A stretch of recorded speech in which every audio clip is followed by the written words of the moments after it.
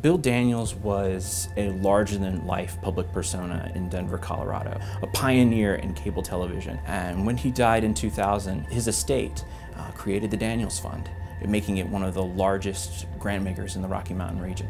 We've had an extraordinary relationship with the Daniels Fund. Uh, the Daniels Fund has been a entrepreneurial and frankly revolutionary partner in transforming the public education landscape in Denver over the past decade. I was born and raised in Denver and watched Bill Daniels as he saw people in the community, particularly young people, who were coming from poverty or difficult circumstances, and he invested in those young people. I think that the Foundation's most enduring, most effective contributions have come at the intersection of donor legacy, community input, and effective philanthropic practice.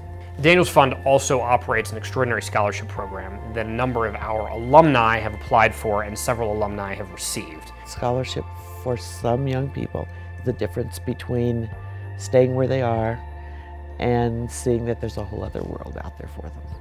There's no question that the Daniels Fund is creating opportunities, second chances for people who might not otherwise have them. The question is, are they creating change? Charter schools, some of them that Daniels Fund funds, are high performing. How do we ensure that all children in the region have access to high performing schools?